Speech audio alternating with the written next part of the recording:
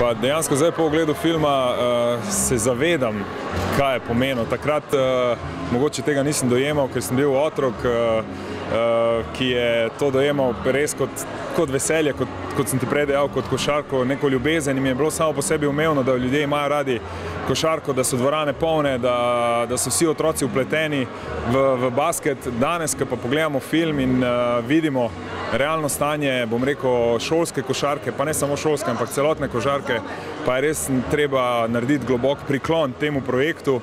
Sam upam, da bomo v kratkem najdli podobno zadevo, da zopet obudimo uh, to ljubezen do košarke in pa predvsem to željo pri mladih, da so del nečesa uh, tako velikega, kot smo bili mi sami. Je kakšen tak posnetek, ki ti je prav posebej ostal v spominu, oziroma kaj te je mogoče najbolj nasmejalo? Ma ne, posnetkov je ogromno, posnetkov je res ogromno.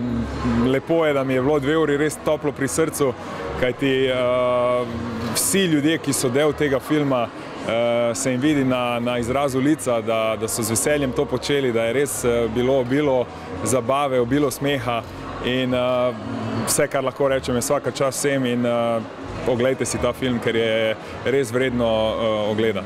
Dokumentarni film o šolski košarkarski ligi.